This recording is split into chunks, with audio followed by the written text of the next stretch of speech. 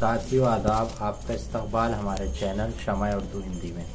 आज मैं आपके लिए लेके आया हूँ business study N I class tenth का क्वेश्चन पेपर उर्दू में, कारोबारी मुताला 215 यू।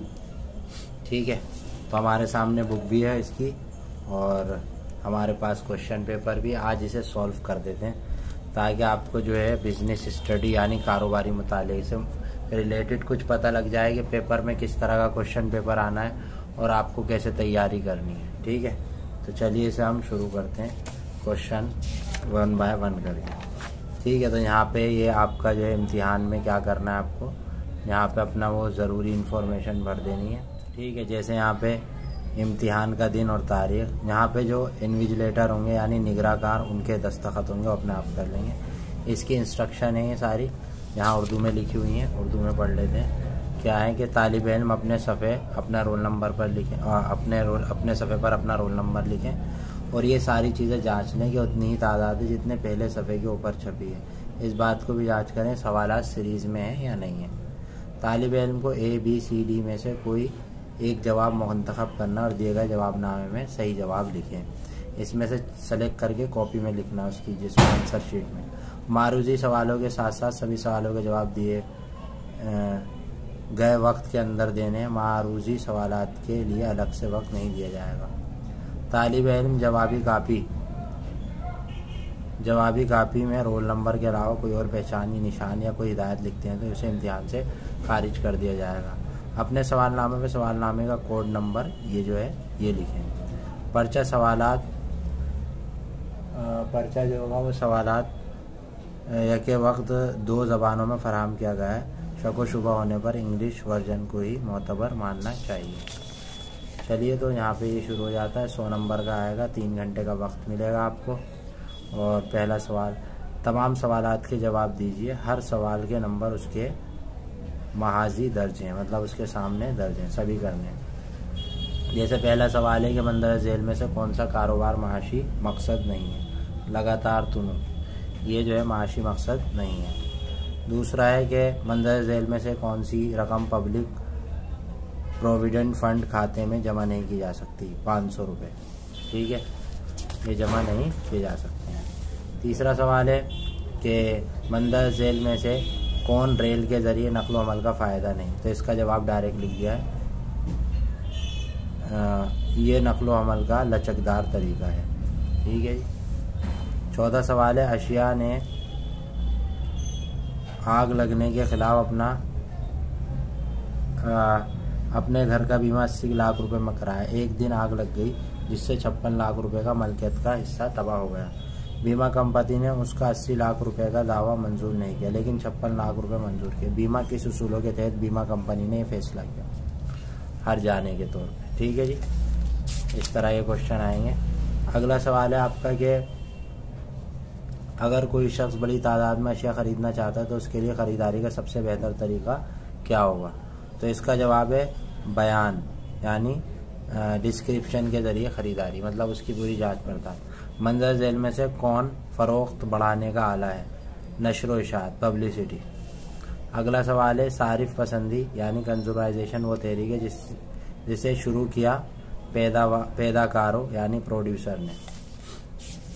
सात हो गए, आठवां सवाल है इसमें कि जिसका दायरा कार एक करोड़ से ज़्यादा की तमाम दावों और शिकायतों को सुनने वाला शामिल हो अदालत सूबाई सारिफ कमीशन कहलाती है।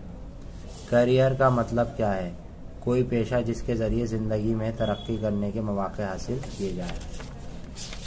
इसके बाद इसका आखिरी सवाल है कि, कैरियर रास्ते का मतलब है, करियर के लिए अख्तियार किया गया रास्ता।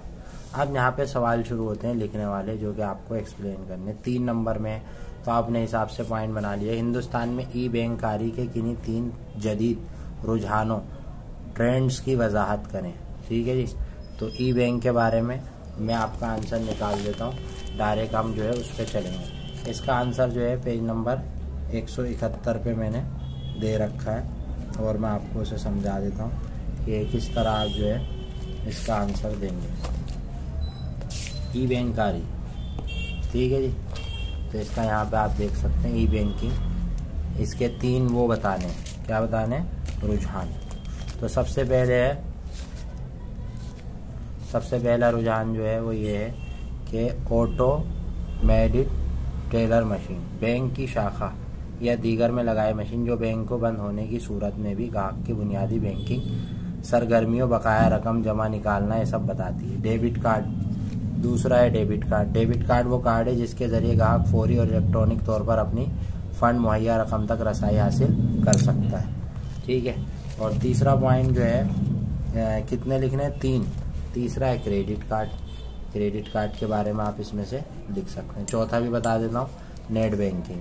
ठीक है? तो इसमें से भी आप पॉइंट बना के लिख दीजिएगा। अगला सवाल है आ, सवाल नंबर बारह। कोई तीन नुकात बयान करते हुए सनतकारों के नुक़ नज़र से बिक्री को फ़रोग देने की अहमियत वाज कीजिए। तो इसका भी जवाब मैंने निकाल लिया कि कोई तीन नुक्ते बताने जो सनतकारों की मैन्युफैक्चर नुक़ नज़र से बिक्री के फ़रोग दे, यानी बिक्री उनकी ज़्यादा हो जाए। वो कौन से तीन तरीके हैं? तो इसका जवाब भी मैंने निकाल लिया। इसका जवाब है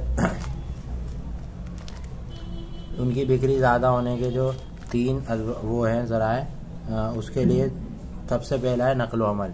यानी उनके पास ट्रांसपोर्ट होना चाहिए डिलीवरी करने वाला होना चाहिए। दूसरा है गोदामकारी। गोदाम होना चाहिए जिसमें वो अपना सामान को रख सके। जब तो उनकी ज़्यादा होगी इश्तिहारकारी यानी एडवर्टाइजिंग ये सारी चीज़ें होनी चाहिए। इसकी बिना पर हम कह सकते हैं कि सनतकारों के नुक़ से बिक्री की फ़रोख्त में वाजे वाजे की अहमियत को वाजे होगी। अहमियत को वाजे किया गया है।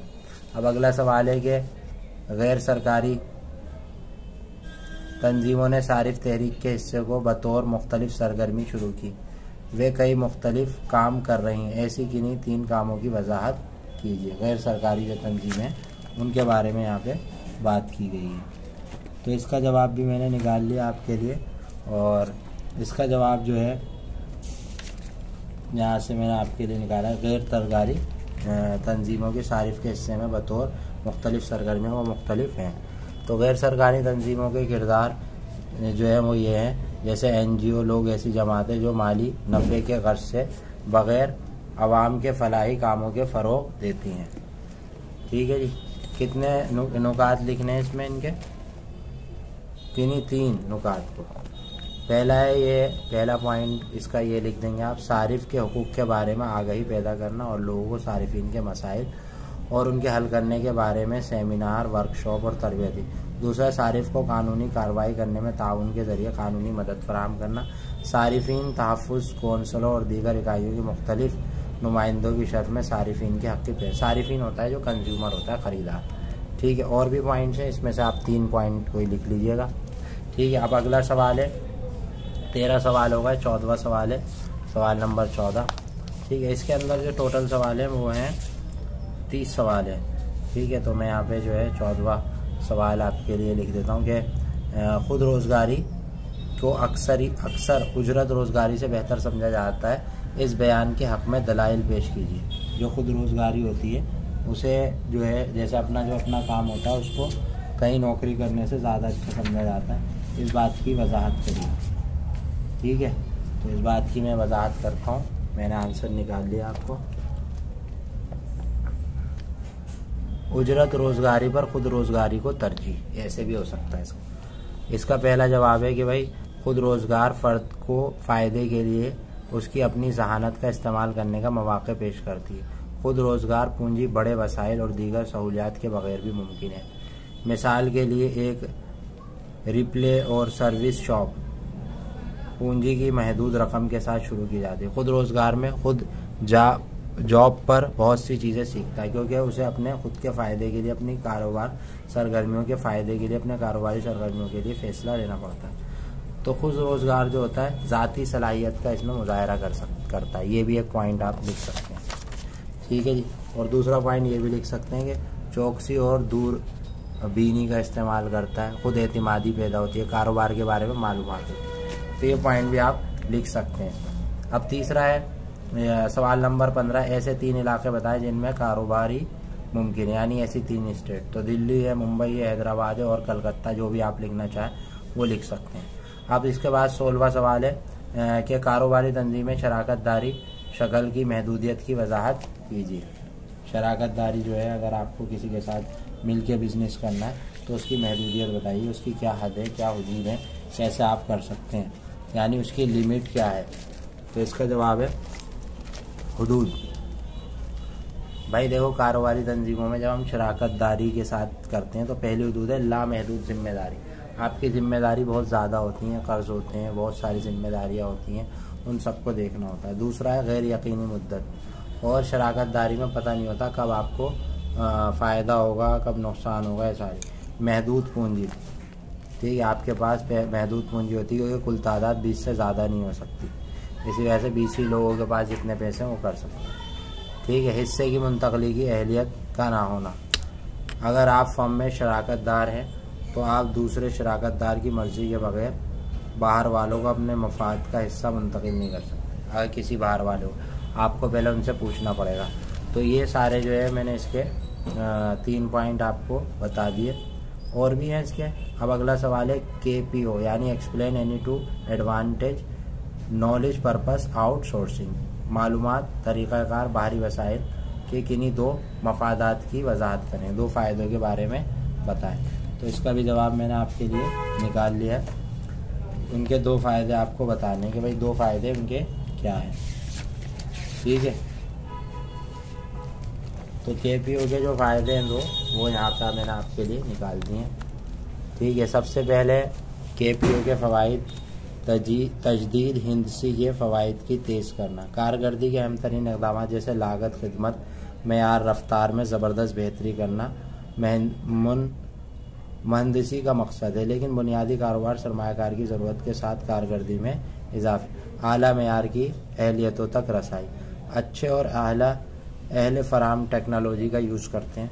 तीसरा है, नकद नोज़ प्रेजी। गाहक से खदमत के फराम कार अक्सर असासों से मुंतकली आउटसोर्स में शामिल है, यानी कैश में काम होता है। इसके बाद इसी का अगला पॉइंट है कि वसाइल का मुनासिब तरीन साम, जो भी हमारे पास सोर्सेज होते हैं, उनका इस्तेमाल करते हैं। मुश्किल मसाइल का हल करते हैं, ख़ास कारोबार पर तवज्जो मरकूज करते हैं। ये सारे पॉइंट है, लिखने तीन ही थे इसमें। दो बताने थे अगला सवाल है, आबी नकलो हमल, यानी वाटर ट्रांसपोर्ट के फ़ायदे बताओ। यानी पानी के ज़रिए जो हम जाते हैं, उसके क्या फ़ायदे? पानी के ज़रिए किस किस चीज़ से जाते हैं, आपको पता ही होगा। पानी के ज़रिए बहुत सारी चीज़ें ऐसी हैं, जिनके ज़रिए हम जा सकते हैं। बहुत सारी चीज़ें जैसे शिप है। अब तो वैसे वाली शिप चल गई, जो क्या नाम है मोटर से चलती हैं। तो आबी वसाइल के इनमें से बताने फ़ायदे।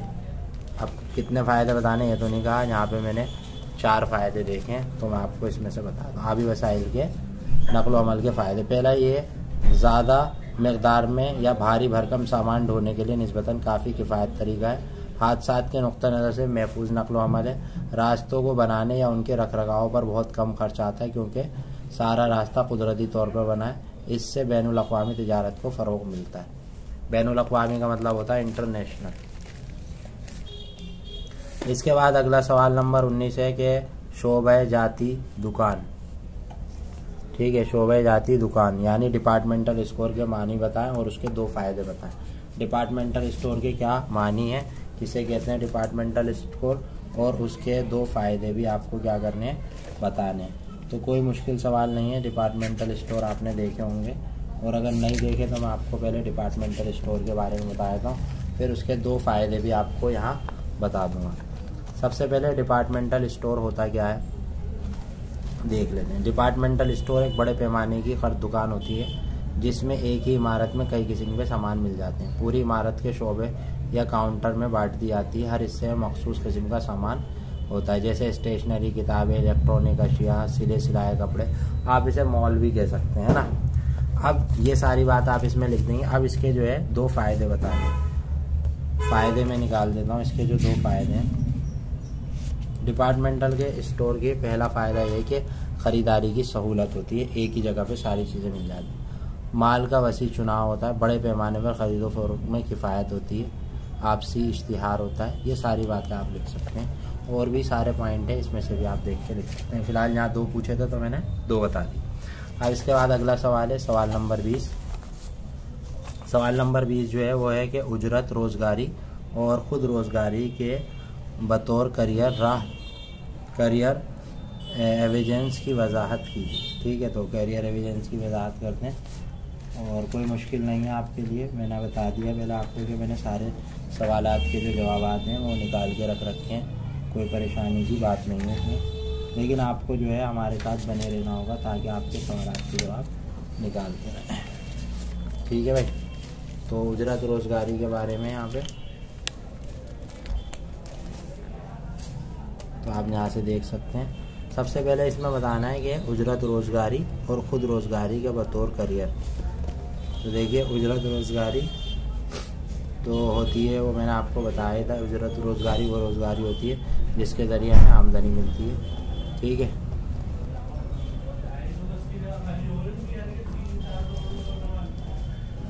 ठीक है, आप यहाँ से देख के लिख सकते हैं। अब इसका बाद है अगला सवाल कि हाथ, पेशा और रोज़गार की तारीफ़ कीजिए। काम की नौीयत और ये सारी बातें आपको बतानी तो कोई इसका मुश्किल जवाब नहीं है। इसका जवाब भी मैंने आपके लिए निकाल दिया। ये रहा, पेशा, जब कोई शख्स कोई पेशा इख्तियार करता है तो वह रोज़गार याफ्ता होता है। आजकल पेशा किसी न किसी माशी सरगर्मी से जुड़ा है, रोटी कमाने के लिए। ठीक है, उजरत रोज़गारी और ख़ुद रोज़गारी। उजरत रोज़गारी वो रोज़गारी होती है जो कहीं किसी के यहाँ खुद रोज़गारी होती है जो अपने आप कमाता है। इसके बाद अगला सवाल है कि ताउनी सोसाइटी, कोऑपरेटिव सोसाइटी के मानी बताएँ और कोऑपरेटिव सोसाइटी के तीन ही खासियतों को बता, तीन खासियतों को वजात करें, कोऑपरेटिव सोसाइटी किसे कहते हैं? ठीक है, आपने अक्सर लफ्ज़ सुना होगा, कोऑपरेट कर लो, है ना? तो ताउनी सोसाइटी जो मदद से चलती है इमदादी भी कहते हैं। ठीक है और इनके जो है तीन खासियतों को बताना है। तो पहले हम इसके मानी पढ़ लेते हैं कि इमदादी सोसाइटी कहते कहते इमदादी सोसाइटी जो है इमदादी बहमी तहरीक सनती इंजाब के सब होने वाली माशी और समाजी तावन के मानी है। ठीक है जापान सो, सोशलिस्ट मुल्कों में काफ़ी अहमियत की हासिल है। ठीक है इसके बाद और भी मानी है जो माशी सरगर्मियों के लिए एक साथ मिलकर काम करती हैं। ठीक है जी ये सारी इसकी वो हैं। लेकिन इसके अभी जवाब पूरा नहीं हुआ। इसके जो है तीन खसूसियात को बताना है। तो इसकी जो तीन खसूसियात हैं, वो यहाँ पे लिखी हुई है। तीनों खसूसियात मैंने निकाली हैं। पहले ये, रज़ाकाराना अंजुम यानी कोऑपरेटिव सोसाइटी के अफराद एक रज़ाकाराना अंजुमन होती है। कोई मेंबर सोसाइटी में जब चाहे शामिल हो सकता है और जब चाहे उसका मेंबर निकल सकता है। सोसाइटी को अपनी मर्ज़ी से छोड़ सकता है। ठीक है? खुली मेंबरशिप होती है। जो भी आए मेंबरशिप ले सकता है। और चाहे वो किसी मज़हब का हो, किसी ज़ात का हो, किसी जिन्स का हो। गैर अलहदा कानूनी वजूद। कोऑपरेटिव सोसाइटी में जो है उन्नीस सौ बारह रियासती, ये वाला पॉइंट छोड़ दिया ये वाला लिखे सरमाए का ज़रिया। कोऑपरेटिव सोसाइटी में सरमाए का, सरमाया शेयर पूंजी की शक्ल में होता है। आसानी से कर्ज हासिल किया जा सकता है रजिस्ट्रेशन हुकूमत एहतियात हासिल करने को भी यकीनी बनाती है। ठीक है तो ये बात है कोऑपरेटिव सोसाइटी में। अगला सवाल है, सवाल नंबर तेईस। सवाल नंबर तेईस में है कि गोदामकारी यानी वेयर हाउसिंग का क्या मतलब है? इसके किन्हीं तीन कामों की वजाहत कीजिए गोदामकारी किसे कहते हैं? और इसके जो तीन काम हैं, वो क्या हैं? तो गोदामकारी का मतलब पहले हम पढ़ लेंगे और फिर इसके जो तीन काम हैं, वो देखेंगे। सबसे पहले गोदामकारी किसे कहते हैं?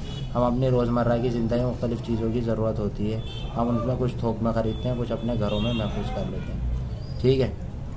इसी तरह लेकिन ताजरे इन चीज़ों को ज़रूरत बिना किसी रुकावट के तमाम साल ही रहती है। एक चीनी की फैक्ट्री की मिसाल ले लीजिए। ठीक है? तो उन्हें महफूज रखने के लिए, गोदाम में रखने महफूज होती है, ये गोदामकारी कहलाती है। और आप भी पॉइंट लिख सकते हैं। गोदामकारी की क्या लिखने हैं आपको? वजाहत करनी थी मौसमी पैदावार। मौसमी पैदावार होती है।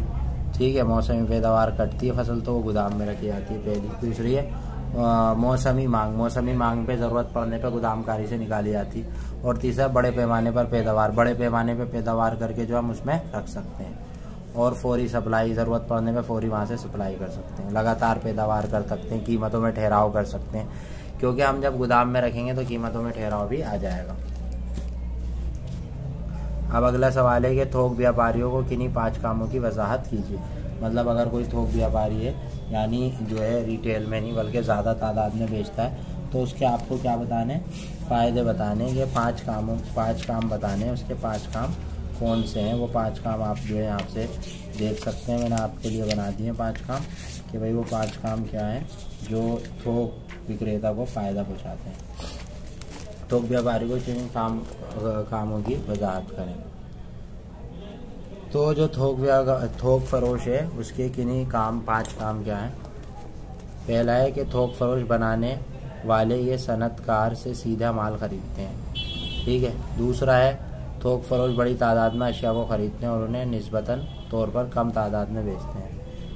वे एक ही तरह दर्जे के मुख्तलिफ़ चीज़ों को ख़रीदते हैं, मिसाल के तौर पर कागज़ की तजारत करते हैं। तो इसे सभी तरह के कागज़, कार्डबोर्ड वगैरह की उम्मीद रखते हैं। वो ऐसी अशिया की ख़रीदो फरोख्त एजेंट द्वारा कर सकते हैं। और भी पॉइंट आप इसमें से भी लिख दीजिएगा थोक फरोश के काम भी हैं यहाँ पे। कि अशिया को जमा करना अशिया को स्टोर करना, तकसीम करना, मालियात की फरहमी, जोखिम उठाना, ठीक है दर्जा बंदी करना, ये सारे पॉइंट हैं आप लिख सकते हैं। अगला सवाल है इसमें, थोक वाला समझा दिया। सवाल नंबर, अब है पच्चीस। सवाल नंबर पच्चीस समझा रहा हूँ आपको कि हिंदुस्तान की सरकारी, हिंदुस्तान के सरकार हिंदुस्तान की सरकार ने सार्फिन के हकूक़ की हिफाजत के लिए कई कवानीन बनाए उनमें से किन्हीं पाँच कवानीन के बयान कीजिए। यानी जो जो कंज्यूमर हैं उसके लिए जो हिंदुस्तान गवर्नमेंट ने कानून बनाए हैं उनमें से कोई पाँच कानून को आपको यहाँ पे क्या करना है बताना है कि वो पाँच कानून कौन से हैं। ठीक है? सार्वजनिक के तहफ़ के लिए जो आ, कानून बनाए हैं वो आपको यहाँ से बता दें कि भाई वो क्या कानून बनाए हैं। ठीक है। तो इसको हम कह सकते हैं सारिफिन के हकूक़। सारिफिन के हकूक़। पहला हकूक़ जो है, वो जो दे रखा है, वो इस तरह से है कि हिफाजत का हक। आप जो भी सामान खरीद रहे हैं, वो हिफाजत के साथ आप तक पहुँचा मालूम पाने का हक, जो भी आप चीज़ खरीद रहे हैं, उसके बारे में जान सकते हैं। चुनने का हक। आप जो भी चीज़ खरीद रहे हैं, उसको चुन सकते हैं। नहीं भाई, यही खरीदेंगे, घटिया खरीदेंगे। आप अच्छी से अच्छी चीज़ खरीद सकते हैं। ठीक है? और इसके बाद है, तदारक का हक। तदारक कहते हैं, मोटे तौर पर इसके मानी, जब भी हुकूमत और पब्लिक इदारे सार्फिन के मफादात को मुतासर करने वाले और पॉलिसी वाजे करते हैं, सार्फिन का हक है उनको मशवरा लिया जाए। अगर तलाफ़ी का हक, अगर कोई नुकसान, घटिया चीज़ देता है तो उसको आपको उसके बदले कीमत चुकानी पड़ेगी। सार्फिन की तालीम का तालिफिन को बताया जाए, गलत राह में न भटकाया जाए। ठीक है तो छः बता दिए मैंने, पाँच लिखना अगला है कि तजारत के मुख्तलिफ़ समाजी मकासद बताएँ। तजारत के समाजी मकासद क्या है? समाजी मकासद जो हैं, वो कोई मुश्किल नहीं है। ठीक है, समाजी मकासद बताने। तो समाजी मकासद यहाँ पे लिखे हुए हैं सारिफिन के। ठीक है तो आप यहाँ से उतार लीजिएगा। मैारी, अशिया और ख़दमात की पैदावार सप्लाई, यानी अच्छा सामान बेचें मुसनफ़ियाना तजारती अमल अख्तियार करें, ईमानदारी से बेचें, धोखाधड़ी ना करें। और इसके बाद आगे भी है कि ये वाला तीसरा पॉइंट आप लिख सकते हैं कि आवाम, समाज की आम फलाह बहबूद के तय इश्तराक, और जो है कारोबार जो करें, ये सोच के करें कि आवाम का फ़ायदा हो। ठीक है जी, ये वाला सवाल पूरा हो गया हमारा। अब इसके बाद जो है अगला सवाल है, सवाल नंबर सत्ताईस। कि एक निजी लिमिटेड कंपनी क्या होती है? ठीक है, प्राइवेट लिमिटेड कंपनी। ये पब्लिक लिमिटेड कंपनी से किस तरह मुख्तलिफ़ है, कोई चार फ़र्क बताएँ। प्राइवेट कंपनी और ये दो कंपनियाँ होती हैं, इन दोनों में हमें क्या बताना है? फ़र्क बताना है कि दोनों के अंदर क्या डिफरेंस है? दोनों किस तरह से एक दूसरे से मुख्तलिफ़ है। ठीक है जी? तो बिल्कुल बताएँगे आपको दोनों के कितने फ़र्क बताने? चार। तो मैं यहाँ पे वैसे बहुत सारे हैं, लेकिन मैं आपको चार बता देता हूँ इसके कोई चार। ठीक है तो प्राइवेट लिमिटेड कंपनी और पब्लिक लिमिटेड कंपनी का पहला फ़र्क ये है कि प्राइवेट कंपनी के मामले में कंपनी की तश्ील के लिए अफराद कम अज़ कम मतलूबा दो हों, जबकि पब्लिक के मामले में ये तादाद सात। प्राइवेट कंपनी कम अज़ कम और सरमाया एक लाख रुपये होता है, जबकि पब्लिक कंपनी में कम अज़ कम पाँच लाख रुपये होता है। प्राइवेट कंपनी में मेम्बरों की तादाद ज़्यादा से ज़्यादा पचास से तजावज़ नहीं कर सकती, जबकि पब्लिक कंपनी में मेंबरों की तादाद ज़्यादा से ज़्यादा ऐसी कोई पाबंदी नहीं, कितने भी सकते। प्राइवेट कंपनी में हसास को मुंतकिल करने का हक महदूद है, जबकि पब्लिक कंपनी में आज़ादा तौर पर कबल नकली कर सकते। प्राइवेट कंपनी में कम अज़ कम दो दो डायरेक्ट दो डायरेक्टर होते हैं, जबकि पब्लिक कंपनी में कम से कम तीन डायरेक्टर और भी बातें हैं, लेकिन यहाँ पे जो सवाल है ना, उसमें कोई चार बातें बताई मैंने फिर भी आपको पाँच बता दी। ठीक है जी तो मैंने आपको बता दी है ज़्यादा। अब इसके बाद सवाल नंबर अट्ठाईस है। डाक खाने के ज़रिए मुहैया किए गए मंदर खदमात की वजाहत करें रजिस्टर डाक क्या होता है? बीमा शुदा डाक क्या होता है? तेज़ रफ्तार डाक क्या होता है? तो हमें ये बताना है। तीनों तरह के डाक के बारे में हमें बताना है कि तीनों तरह के डाक क्या होते हैं। कोई मुश्किल नहीं है, मैंने आपके लिए सवालों के जवाब निकाले यहाँ पे। और यहाँ पे जो है रजिस्टर डाक के बारे में बताना है, और बीमा डाक के बारे में बताना है, और तीसरा भी डाक के बारे में। तो रजिस्टर डाक के बारे में आप यहाँ से लिख लेंगे कि भाई रजिस्टर डाक क्या होता है, जिसमें डाक टिकट लगाकर डाक घर पर भेजा जाता है। बीमा शुदा डाक क्या होता है कि अगर दौरान डाक किसी कस्म का नुकसान पहुँचता है तो भेजने वालों को नुकसान का सामना करना पड़ सकता है। रास्ते में होने वाले नुकसान की वजह से डाक खाना महकमा को ठहराया जा सकता है बीमा बीमा करा लेते हैं, अपना जो भी चीज़ भेज रहे हैं, उससे डाक खाने के ऊपर ज़िम्मेदारी है तीसरा है तेज़ रफ्तार डाक। तेज़ रफ्तार डाक वो होता है, ये उन्नीस सौ छियासी में शुरू किया, ये बहुत तेज़ी से आता है एमरजेंसी और हंगामा हालात में भेजा जाता है। ठीक है? तो ये मैंने तीनों बता दिए, तीनों इसमें से अच्छे से करके लिख लेना अगला सवाल है कि मंदा झेल में से मुख्तसरा भेज कीजिए। मंजूर की बुनियाद पर, मंजूरी की बुनियाद पर फ़रोग टेंडर के ज़रिए फ़रोग नीलाम फ़रोग तो इसका भी जवाब मैंने मतलब फ़रोख्त अगर आप कोई चीज़ सामान बेच रहे हैं तो किस तरह आप कर सकते हैं? वो सारे तरीके आपको यहाँ पे लिखने हैं। जो सारे तरीके हैं, वो आप यहाँ पे लिख देंगे। और उम्मीद है कि आपको ये समझ में भी आ रहा होगा। कोई मुश्किल नहीं है। फ़रोख्त के जो है तरीके लिखे हैं इसमें। और फ़रोख्त के तरीक़ों में से पहला तरीका यहाँ पे मंजूरी के ज़रिए फ़रोख्त। ठीक है? मंजूरी की बुनियाद पर फ़रोख्त ये है कि आप जो है परमिशन लेते हैं और फिर उसके बाद फ़रोख्त करते हैं। उसका अगला है टेंडर। टेंडर के ज़रिए फ़रोख्त टेंडर मिल जाता है गवर्नमेंट से, टेंडर निकलते हैं और उसके ज़रिए आप जो है फ़रोख्त इसमें से पॉइंट लिख लेना और फिर है नीलामी के ज़रिए फ़रोख्त किसी चीज़ की बोली लगती है, उसमें जो सबसे ज़्यादा बोली लगाता है, उसको वो चीज़ दे दी जाती है। तो ये नीलामी के ज़रिए फ़रोख्त ठीक है जी? ये आपके सवाल समझ में आ गया होगा। अगला है आखिरी सवाल है। सारिफिन को किन्हीं तीन जिम्मेदारियों की मुख्तसरा वजाहत कीजिए। मतलब जो ख़रीदने वाला है, उसकी ज़िम्मेदारी क्या है? क्या उसकी जो है ज़िम्मेदारी बनती है जब वो कोई चीज़ ख़रीदता है? तो उसकी कुछ जिम्मेदारियाँ भी हैं भाई, जो आपको देखनी है कि उसकी सारिफिन की क्या ज़िम्मेदारी है। तो मैंने लिख दिया यहाँ पे सारिफिन की ज़िम्मेदारी। पहली ज़िम्मेदारी है खुद अपनी मदद आपकी ज़िम्मेदारी यानी जो भी चीज़ खरीदे, उसको अच्छे से देखभाल के खरीदे। धोखे में ना है लेन देन के सबूत। लेन देन का सबूत। जब आप कोई चीज़ खरीदें तो कैश मेमो या बिल वगैरह ले लें। मुनासिब दावे। नुकसान, मुनासिब चीज़ खरीदें, ज़्यादा महँगी ना खरीदें ऐसी। और खदमात का मुनासिब इस्तेमाल। मसनू प्रोडक्ट का मुनासिब इस्तेमाल करें। हद से ज़्यादा यूज़ ना करें। बहुत से लोग क्या होते हैं गारंटी है तो बेतहाशा यूज़ करें ठीक है तो ये मैंने आपको जो है इसकी मुख्तसरा वजाहत बता दी और ये यहाँ पे हमारा ख़त्म हो गया। उम्मीद है कि वीडियो पसंद आई होगी और बिज़नेस स्टडी का हमारा ये जो है आपके लिए मैंने क्वेश्चन पेपर तैयार करा। वीडियो पसंद आई तो लाइक करें। आप हमसे बने बनाए सोल्व क्वेश्चन पेपर भी ले सकते हैं किसी भी उसके। और अगर वीडियो पसंद आए तो लाइक करिए शेयर करिए कमेंट करिए। एडमिशन भी करा सकते हैं एन आई के। और पीडीएफ चाहिए असाइनमेंट वगैरह की, वो भी ले सकते हैं, वो पेड होती है। उम्मीद है वीडियो पसंद आई तो लाइक करिए शेयर करिए। शुक्रिया।